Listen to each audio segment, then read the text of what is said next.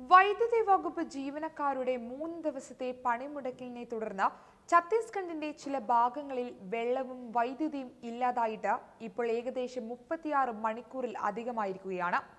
തിങ്കളാഴ്ച വൈകുന്നേരം മുതലാണ് ആയിരക്കണക്കിന് വീടുകളിൽ വൈദ്യുതിയും ജലവിതരണവും ഇല്ലാതായത്. വൈദ്യുതി വകുപ്പ് ജീവനക്കാരുടെ പണിമുടക്കിനെ തുടർന്ന് പൊതുജനങ്ങൾ വലിയ ബുദ്ധിമുട്ടാണ് നേരിടേണ്ടി വരുന്നത്. ഇതുകൂടാതെ ഇന്ത്യയിലെ ഏറ്റവും നല്ല രീതിയിൽ ആസൂത്രണം ചെയ്ത നഗരങ്ങൾ എന്ന് വിളിക്കപ്പെടുന്ന പലയിടങ്ങളിലും ട്രാഫിക് ലൈറ്റുകൾ പോലും പ്രവർത്തിക്കുന്നില്ലെന്നാണ് ദേശീയ മാധ്യമങ്ങൾ റിപ്പോർട്ട് ചെയ്യുന്നത്.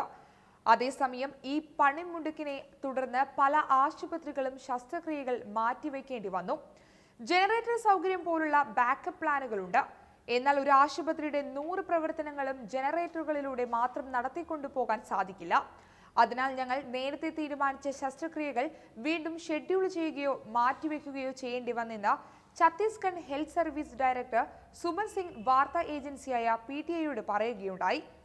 വൈദ്യുതി ഇല്ലാതായതിനെ തുടർന്ന് ഓൺലൈൻ ക്ലാസുകളും കോച്ചിംഗ് ഇൻസ്റ്റിറ്റ്യൂട്ടുകളും അടച്ചുപൂട്ടുകയുണ്ടായി. വൈദ്യുതി വകുപ്പ് സ്വകാര്യവൽക്കരിക്കുന്നതിന് എതിരെയാണ് വൈദ്യുതി ജീവനക്കാർ സമരം നടത്തുന്നത്. അതേസമയം സമരം പിൻവലിക്കാൻ കേന്ദ്രഭരണ പ്രദേശത്തെ ഉപദേശകർ ധരംപാൽ പർവൻമെന്റ് യൂണിയനുമായി ചർച്ച നടത്തിയെങ്കിലും ഇതുവരെ തീരുമാനമായിട്ടില്ല. എന്നാൽ ഈ പണിമുടക്കലിലൂടെ സ്വകാര്യവൽക്കരണം തങ്ങളുടെ തൊഴിൽ നിർബന്ധനങ്ങളിൽ മാറ്റം വരുത്തുമെന്നും വൈദ്യുതി നിരക്ക് വർദ്ധിപ്പിക്കുമെന്നും പ്രതിഷേധിക്കുന്ന ജീവനക്കാർ പറയുന്നത്. കൂടാതെ ചൊവ്വാഴ്ച വൈകുന്നേരം ഛത്തീസ് ഭരണകൂടം ആവശ്യ സേവന പരിപാലന നിയമം നടപ്പിലാക്കി ആറ് മാസത്തേക്ക് വൈദ്യുതി വകുപ്പിന്റെ പണിമുടക്ക് നിരോധിച്ചിരുന്നു. വൈദ്യുതി വിതരണം നിലനിർത്താൻ തങ്ങൾ ക്രമീകരണങ്ങൾ നടത്തിയിട്ടുണ്ടെന്ന് ഛത്തീസ്ഗഡ് ഭരണകൂടത്തിലെ ഉദ്യോഗസ്ഥർ അവകാശപ്പെട്ടെങ്കിലും നഗരത്തിലെ വിവിധ ഭാഗങ്ങളിൽ നിന്നും താമസക്കാരും വ്യാപാരികളും ഈ പണിമുടക്കിനെതിരെ പരാതിപ്പെടുകയുണ്ടായി.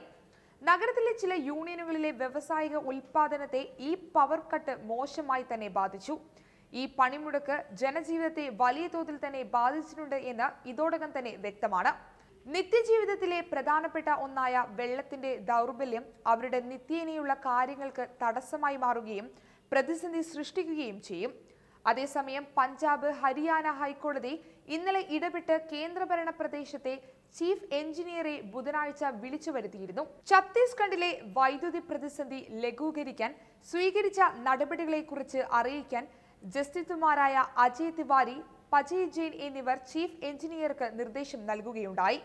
പണിമുടക്കിയ ജീവനക്കാരുടെ അട്ടിമറി പ്രവർത്തനങ്ങളാണ് വൈദ്യുതി മുടക്കത്തിന് കാരണമെന്ന് ഛത്തീസ്ഗഡ് ഭരണകൂടത്തിന്റെ അഭിഭാഷകൻ അനിൽ മേത്ത ജഡ്ജിമാരോട് പറഞ്ഞിരുന്നു.